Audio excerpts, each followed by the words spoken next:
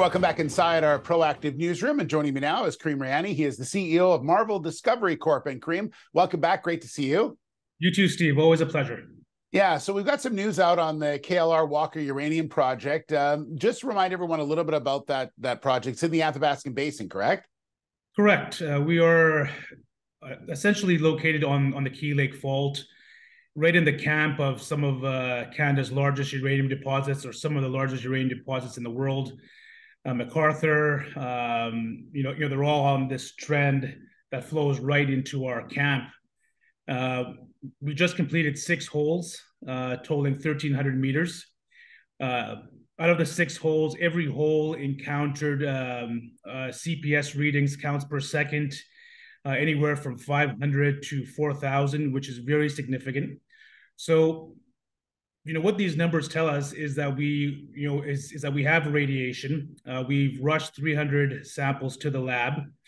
And, you know, you know, in real estate, they say location, location, location. Um, you know, from a point of, uh, you know, of a project, you know, this is one of the last, uh, um, you know, large parcels of land that was really, uh, you know, sat dormant uh, we're tied onto Cameco to our west. Um, you know, a, a, fission is is is is also tied onto our ground, and a lot of the neighbors, you know, you know, who are some of the larger players, are you know very uh, you know curious as to what we're doing, and you know, and we're definitely making a lot of noise in the camp. Yeah. So you looked at uh, a couple of different locations with your with your uh, six diamond drill holes. You looked at the highway zone and the DD zone. So explain, are, are those two the main ones you're looking at right now? Because that's only a small portion of this project, correct? Correct. Uh, we've got a total of 10,000 hectares. This is on the northern block. Uh, the highway zone was the original acquisition that we did three years ago. And then we uh, expanded the ground and, and acquired the KLR, which is, you know, west and east. So they're kind of parallel to each other. So we completed, you know, four holes on the highway and then a few holes on the DD.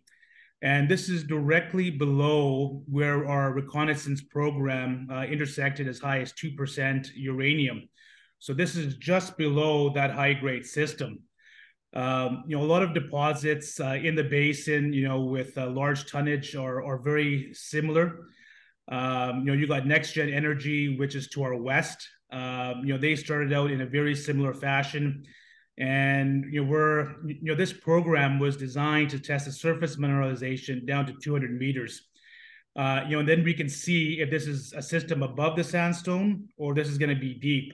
You know, it's very possible it's both. Um, you know, obviously having you know high grade at, at surface is is better for cost. So, you know, the next uh, you know we anticipate assays probably in the next you know three to six weeks.